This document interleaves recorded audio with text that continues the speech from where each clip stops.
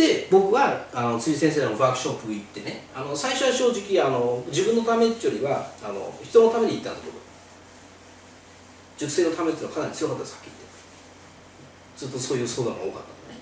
これなんとかしてえなっていう。のが俺の解決してる悩み、ね、でもね実際行ってみたらもちろんそれもあるんだけど自分のためっつうのはかなり強くなりましたね。そして俺気づいたんですよ、ね、これ気づいたことしなかったんですけど俺はものすごくこう幸せな環境におるんだなってことに気づいたんですよ。なんでかというと僕の場合は受験指導簿記の受験指導っていうことを通じてライフスキル鍛えられますからね。だから俺の場合仕事そのものが同情なんですよ人生、ね、みんな結果目指して自分に来る、ね、でもそれをもちろん技術は指導するんだけどもメンタル面もサポートできると、ね、そしたらメンタル面をサポートできるためには自分のライフスキルできないはしょうがないんで。で自分これ鍛える日々。毎日やってますかずっと。自分自身。だから俺の場合さっき言ったように心エントリーはすぐできますから。とにかくすぐできます。無意識で勝手に変化を重視してますから。結果やなくて。できるんですよ。そういうのを教える。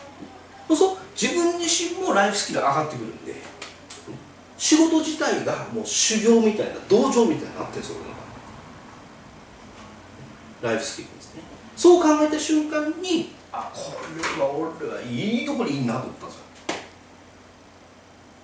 すよ。仕事として。仕事そのものが道場なんでこんな環境ってあんまないんですよ。プロスポーツ選手なんとかじゃないと。ね。でもプロスポーツ選手は引退になるんですよ。年齢引退ないんですよ。一生できるんですよ。ずっと、うん、だから俺の人生の着地点は死ぬ前にここの地点にストップしようって決めましたね。悟り最後に悟ればいいわけなんですよ。それまで委ねちゃって別に構え人間らしくねえからいらないと。そのための仕事だって考えた瞬間にもうそれだけでフローワードですよ。侍塾って唱えただけでフローワードのところに取っちゃう人生道場ですもんだって自分自身。あと熟成。はい。ということに気づきました。3日間って。そこが非常に大きかったです。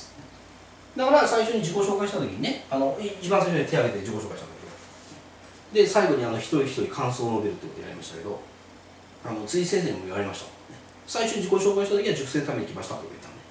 あと辻先生にお礼言いたいから来ました。ですけど写真も撮らせてもらったんだけどで最後、えーと、みんなあの感想を1分ずつ言ってた時には自分今の話なんですよ。自分のためにやります。だから辻先生はそれでいいんだよ自分のためにやんねえとダメだと。人のためにってやってると引っ張られちゃう。だから俺にとってもやっぱりあのワークショップは良かった。